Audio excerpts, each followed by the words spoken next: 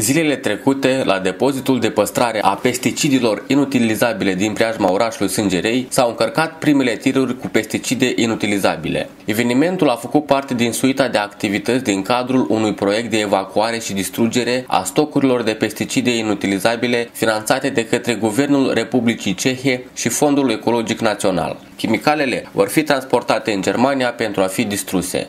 Mai bine de 20 de ani, în depozitul de chimicale ale gospodăriei agricole Miciurin se păstrau zeci de tone de pesticide periculoase. Mai mult ca atât, ambalajul în care se păstrau aceste chimicale era deteriorat, iar acoperișul depozitului spart fapt ce mărea riscul scurgerilor substanțelor toxice și poluarea mediului. De azi înainte, acest depozit de chimicale nu va mai prezenta pericol pentru mediu. Acum o lună, la alt depozit de chimicale din apropierea orașului Biruința, au fost lansate activitățile de evacuare și distrugere a stocurilor de pesticide inutilizabile finanțate de către Guvernul Republicii Cehe și Fondul Ecologic Național. Ivan Cebotar, vicepreședintele Raionului Sângerei, spune că până la sfârșitul anului, toate chimicalele inutilizabile din Raion vor fi evacuate și transportate pentru a fi distruse în Germania. Ivan Cebotar, vicepreședintele Raionului Sângerei. Domnule Cebotar, astăzi am asistat la procesul final al evacuării chimicalelor nocive care sunt pe teritoriul raionului nostru. Este vorba despre depozitul din preajma orașului Sângerei, unde au fost stocate chimicale nocive din mai multe localități ale raionului și astăzi au fost încărcate în primul automobil care în curând vor fi evacuate din Republica Moldova spre Germania, unde vor fi utilizate. Puneți vă rog câte tone de pesticide, pentru că este vorba despre pesticidele solide. Mai este un depozit la Alexandreni unde sunt pesticide lichide, care și ele în cel mai apropiat timp vor fi evacuate de pe teritoriul raionului. Cam câte tone și cât de greu a fost acest proces de acumulare și de ambalare a acestor pesticide? Pesticidele date au o istorie. Practic, în anii 2004 pesticidele au fost acumulate din fosturile colhozurile, fosturile gospodării colective și au fost uh, depozitate la un depozit în preajma orașului Sânjărei și un depozit uh, lângă orașul Biruința. Uh, au fost acumulate din 23 depozite care au fost în raionul Sânjărei și Aici, în preajma orașului Sângerie, au fost stocate în jur la 60 de tone de chimicate solide și lângă orașul Beruință au fost în jur la 30 de tone de chimicate lichide și în jur la 140 de tone de chimicate solide. Fără de asta, în preajma orașului Biruință au fost aduse chimicate și din raionul Drotia, au fost aduse din raionul Glodeni, care au fost acumulate și din uh, municipiul Bălț. Și noi suntem bucuroși că totuși uh, am reușit anul curent cu ajutorul Ministerul Mediului și cu Guvernul Republicii Cehii să pornim lucrul ăsta de acumulare și evacuare deșeurilor date. După ce vor fi evacuate aceste chimicale, mai rămân în raionul Sângerei chimicale periculoase? După datele noastre nu rămân. După și noi în 2004 am uh, depozitat în depozitele sus numite, au fost încă găsite chimicatele în primăria Dobruș, în primăria Alexandrie, în primăria Dumbrovița, primăria Pipeni, primăria Bălășești, în jur la 10 tone și noi am făcut tot posibilul ca chimicatele date au fost strânse primăvară în luna martie și depozitate în acești două depozite și noi practic din datele și ele și avem despre care cunoaștem nu mai sunt. Nu mai sunt.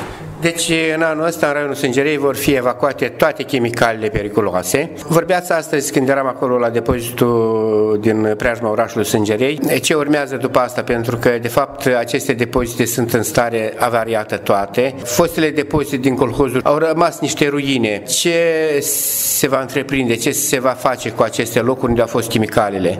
Noi sperăm că ar să reușim să prelungim lucrul ca cu ajutorul Ministerului Mediu, cu poate ar să reușim să câștigăm niște proiecte ecologice ca locurile este care unde au fost uh, construite depozitele și au rămas din materiale construcții, pe urmă se prevede chiar și solul care era sub depozitele este să fie, fie dezinfectat. dezinfectat și ar fi îngropat conform cerințelor ca să nu pătrundă în sol mai departe și să fie neutralizat dacă vorbim concret de eveniment care au avut loc azi, apoi noi am ajuns la o etapă finală. Practic, noi am încărcat azi două autocamioane, în jur la 40 de tone de chimicate ar să fie transportate în Germania la prelucrare și săptămâna aceea noi așteptăm încă două camioane în așa mod că în timp de cel mult 20 de zile, practic, chimicatele nefolosite ar să fie evacuate din raionul Sânjărei, faptul care ne bucură și sperăm că în perspectivă n-ar să avem așa probleme. Gheorghe Salaru, ministrul mediului din Republica Moldova, spune că gestionarea stocurilor de poluanți organici persistenți este o șansă pentru sănătatea Moldovii, iar acest lucru a fost posibil grație proiectului finanțat de Guvernul Republicii Cehe în soluționarea problemelor de mediu în Moldova. Problema soluționării stocurilor de pesticide nu ar fi fost rezolvată fără suportul OSCE în Moldova și a Guvernului Germaniei, a mai remarcat ministrul mediului. Soluționarea definitivă a problemei stocurilor de pesticide inutilizabile și interzise în raionul Sângerei nu ar fi fost posibilă fără nici insistența și aportul Consiliului Raional în persoana președintului raionului Gheorghe Meaon. Reporterul postului de radio Plus FM a realizat cu ministrul mediului Gheorghe Șalaru un interviu la această temă. Domnul ministru, am participat azi la un eveniment extraordinar, avea spun, pentru întreaga Republică și în special pentru Raionul Sângerei. Problema care se cerea de mult rezolvat referitor la chimicale toxice și periculoase, de fapt, care stau mai de mult timp și poluează aerul, mai ales mediul rural știm ce este. Astăzi și oaspeții din Europa au vorbit cu mult optimism despre derularea acestui proces la noi în Republică. Ce urmează după asta? De fapt, astăzi noi am lansat un un proiect uh, din Fondul Ecologic Național, am uh, fost la Alexandreni, acolo unde circa 40 de tone din cele 200 de tone de pesticide, erbicide învechite, lichide, din uh, depozitele noastre vor fi reambalate și transportate în Germania pentru a fi distruse. Este un proiect care l-am început încă anul trecut, Desigur că cetățenii noștri trebuie să înțeleagă că pentru a transporta acest produs deloc uh, simplu, să-l uh, transportăm, de exemplu, pe teritoriul României, Ungariei, Austriei și Germaniei, deoarece fabrica de distrugere se află pe, la nord, pe țărmul Mării Nordice, trebuie să ne închipuim că este o muncă enormă pe care trebuie să o facem pentru a obține toate permisurile și a face toate documentele necesare pentru ca să transportăm. Dar am început și vă promit că anul acesta cel târziu primăvara anului viitor, aceste 200 de tone lichide vor fi evacuate și nimicite. Tot acum, în primăvara aceasta, începem a doua etapă a unui proiect finanțat de Agenția de Dezvoltare Cehă și a fost domnul ambasador, domnul Coapil a Republicii Cehe în Republica Moldova, care a spus că în timpul imediat următor vom avea evacuate, reambalate și evacuate și distruse următoarele 200 150 de tone de pesticide solide cu banii Republicii Cehe este vorba de circa 850.000 euro și în aceste 5 depozite este inclus și depozitul de la Sângerei. De aceea, anul acesta vom lichida și acest depozit, sau mai bine zis, depozitul va rămâne, dar vom uh, scoate din acest depozit acele pesticide, herbicide învechite. Tot anul acesta și anul viitor, cu sprijinul țărilor NATO, cu implicarea Ministerului Apărării și Ministerului Mediului, fiindcă Ministerul Mediului este unul dintre cofinanțatorii acestui uh, proiect, este vorba de circa 325.000 de euro care merg din fondul ecologic la acest proiect.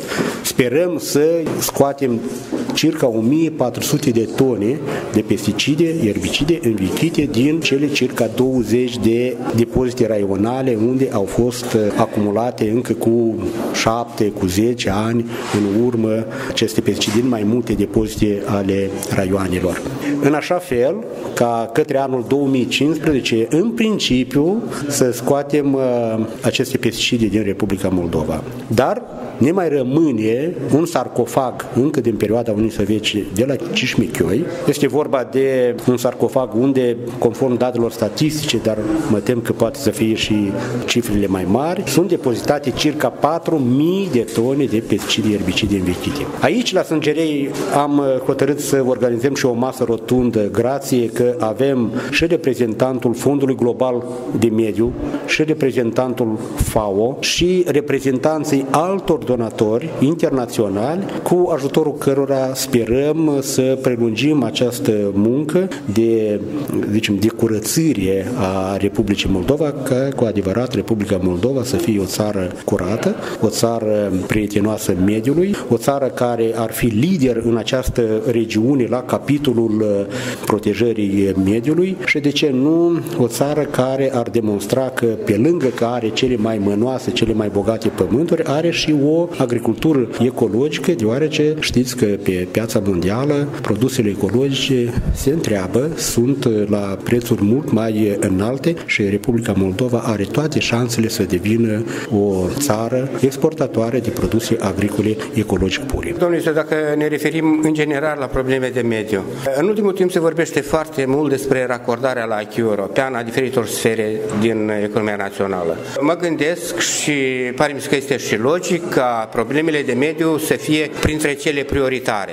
Acum ne-ar interesa și pe noi pentru că se vorbește prea puțin despre racordarea politicilor de mediu la standardele Uniunii Europene. Ce putem face în acest caz și cum le-am putea racorda ca să ne, să ne aliniem la aceste politici? Cu adevărat, în acordul de asociere este capitolul 16 dedicat protecției mediului. Este vorba de circa 25 de directive europene la care trebuie trebuie să armonizăm legislația noastră, o armonizăm gradual, deoarece noi nu putem acum să ne angajăm că mâine trecem la toate standardele Uniunii Europene, deoarece e ușor să armonizezi legislația. Sau zicem relativ e ușor să scrii pe hârtie și să ne luăm niște angajamente, dar când treci la paradigma implementării propriu zisă este cu mult mai mult, deoarece această implementare presupune capacități de implementare, înseamnă instituții, oameni, posibilități inclusiv și financiare pe care nu întotdeauna le avem. Și costuri, desigur că de aceea ne luăm angajamentele gradual, în așa fel ca într-un timp de 3-10 ani, fiindcă în acordul de asociere sunt indicați acele rezultate sau acei indicatori, acele standarde în protecția mediului pe care trebuie să le atingem pe parcursul a următorilor 3-10 ani. Desigur că avem indicatori puși la de exemplu, alimentarea cu apă și canalizare, la capitolul deșeuri, la capitolul aerul atmosferic. Desigur că toate aceste angajamente va trebui să trecem printr-o anumită paradigmă, să zicem elaborarea strategiilor care înseamnă că avem o viziune, avem un concept, cum parcurgem această cale, elaborarea acelor legi noi care trebuie să ne implice pe toți și să ne impună, dacă vreți, să trecem la acele standarde și, desigur, planurile de acțiuni concrete care ar fi însemnat acele acțiuni care ne face, de fapt, să le implementăm pentru ca să atingem rezultatele indicatorii eh, doriți să zicem, un indicator care, simplu, către anul 2015, nicio școală care activează în Republica Moldova nu poate să activeze dacă nu este conectată la apeduct. Și aceasta va trebui să atingem, deoarece dreptul la o cană de apă potabilă este un drept fundamental al omului. Noi despre aceasta nu prea am vorbit. Și la sistemul Noi am vorbit de... pentru că în ultimul și la sistemul de cam uităm. Instalăm apeducte, uităm de canalizare. Nu putem să spunem că cam uităm, dar e aici o problemă problemă că nu putem să construim stațiile de epurare dacă nu avem apeduct. Nu suntem în stare, mai ales din punct de vedere financiar, să venim cu astfel de proiecte de anvergură. Aș putea să dau câteva cifre, să zicem că în acest domeniu, dacă din 2001 până în 2009, în 8 ani de zile, am avut cheltuiți în acest domeniu apă și canalizare cam 156 de milioane lei, din fondul ecologic vorbesc numai, atunci din 2010 până în 2013, în 4 ani, noi am uh, făcut cam 450 de proiecte de vreo 565 de milioane, adică de vreo două ori și 50 ori mai mult în 4 ani decât în uh, precedenței 8. Dar desigur că aceasta este puțin. Este puțin deoarece noi avem, uh, să zicem, majoritatea populației rurale n-au avut niciodată acces la canalizare, la stațiile de epurare. Acest lucru de-abia îl începem. Haideți să fim sinceri și să spunem, nu ținem minte că toate școlile, chiar dacă erau noi construite și aveam într-o parte a școlii și în altă parte a școlii la toate trei etaje licee pentru fete și pentru băieți, dar nici în cea mai nouă școală niciodată aceste grupuri sanitare n-au lucrat. Chiar dacă de la aceste școli se construiau uh, niște rețele de canalizare spre marginea satului și se cheltuiau, adică se băgau în pământ milioane de ruble de atunci, ruble sovietici, niciodată pe această sistem de canalizare nu a curs nimic și nu a lucrat nicio stație de epurare. Ca să nu facem aceste greșeli încă o dată, desigur că noi trebuie să găsim soluțiile pentru a implementa astfel de proiecte care să fie durabile, adică care să ne dea posibilitate să le folosim, să le utilizăm pentru următorii 20-30 de ani. Dar aici trebuie să găsim echilibru între investiție și asigurarea durabilității, între investiție și tarif, între tariful care trebuie să fie pe măsura gradului de suportabilitate a cetățeanului care depinde de leafa lui, depinde de capacitatea lui de plată acestor tarife. Acest lucru trebuie să-l găsim împreună. De multe ori încă cetățenii noștri, cu părere de rău, n-au atins acel grad de conștientizare că ceea ce se întâmplă în jurul nostru, de aceasta depinde sănătatea noastră de astăzi și depinde nu numai prezentul, dar depinde și viitorul copiilor noștri de acele acțiuni pe care le întreprindem sau pe care nu le întreprindem, deoarece găsim alte priorități. Și aici sunt de acord cu dumneavoastră că încă avem o cale de parcurs, ca și guvernul central, ca și guvernele locale, autoritățile publice locale, societatea civilă, cetățeanul, acel contribuabil, cu adevărat să înțeleagă, să conștientizeze care sunt prioritățile și să scoatem protecția mediului în prim plan, ca o prioritate națională. Dacă nu vă spărați, deseori aici s-a vorbit că Republica Moldova dispune de cele mai fertile soluri. Am vorbit și eu cu specialiști în agricultură și este adevărat. Dar în același timp aceste soluri sunt cele mai sensibile și cele mai vulnerabile la boli și vătămători. Deci, fără utilizarea chimicalelor, noi nu vom putea să asigurăm, să zicem, o securitate alimentară a țării, nu mai vorbim despre exportul. Cum putem face? Putem interveni în legislație ca să reglăm acest flux de pesticide, de chimicale și a menține, să zicem, cât de cât puritatea solului nostru. Am vorbit ceva mai sus despre echilibru. Când vorbim despre natură, vorbim despre ecologie, cuvântul echilibru trebuie să fie, cred că, foarte des folosit. Și trebuie să găsim acest echilibru între dezvoltarea economică și protecția mediului, între dezvoltarea agriculturii, între dezvoltarea unei sau promovarea unei agriculturi ecologice pure și folosirea chimicalelor. Este adevărat că noi nu putem să avem o agricultură fără folosirea acestor chimicale, dar în același timp noi trebuie să armonizăm legislația noastră la legislația europeană, ce ar fi însemnat că acele chimicale care nu pot și nu trebuie să fie folosite, adică este lista de chimicale interzise. Vă aduceți aminte de așa numitul DUST, DDT, care era interzis încă din anii 60 în Europa, iar la noi fiecare cetățean credea că ar fi bine să aibă un sac de dust undeva în polițică care îl folosea și pentru cartofi, și pentru tropii cartofii, și pentru pui, și pentru uriși, și pentru așternut, ce vrei. Este un produs organic persistent care rămâne în pământ mai mult de 100 de ani. Aici este problema. Noi nici nu am știut, poate că nici nu am vrut să știm. Sau, un alt exemplu, dacă în Uniunea Europeană, în țările Uniunii Europene, în acea vreme, în anii 80-90, se folosea de la 3 până la 5 kg sau litri de pesticide erbicide la hectar, noi astăzi am auzit o cifră că la 33.000 de km pătrați importam 40.000 de tone. Asta înseamnă că mai mult de o tonă pentru fiecare kilometru pătrat. Dacă ne întoarcem înapoi la acea livadă mare de lângă Tiraspol Pametilicea, atunci aveam folosirea a circa 100 și chiar mai mult de 100 de kilograme de pesticide erbicide pe an la hectar. Desigur că este prea mult, este prea mult și de fapt toată economia noastră era bazată pe gigantomanie. Cu cât mai mult cheltuim, cu atât ni se părea că economia noastră este mai dezvoltată. Și atunci atunci poate că chiar nu se realiza 16 stropituri, dar era obligat brigadierul să scrie și pe a 16, dar dacă era obligat să scrie pe a 16, trebuia să facă ceva cu acele chimicale care trebuiau să fie, cum ziceam noi, spisuiți, care trebuiau să fie decontate. Și atunci unde le aruncam? În prima răpă. Și acum mai găsim uh, prin livezele noastre sau pre la marginea pădurilor astfel de saci îngropați că să nu mai aducă înapoi la uh, depozit. E o chestiune care încă mai doare și încă mai împușcă în noi. Eu cred că Republica Moldova are șanse reale să soluționeze și aceste probleme. Avem nevoie de timp, avem nevoie de oameni, avem nevoie de susținere a partenerilor noștri de dezvoltare și de ce nu? Avem nevoie de o înțelegere între noi toți în societatea moldovenească pentru ca să ne ocupăm de construcție, nu de distrugere. Să construim viitorul împreună. Mulțumesc mult pentru acest interviu. Mulțumesc mult pentru acest interviu.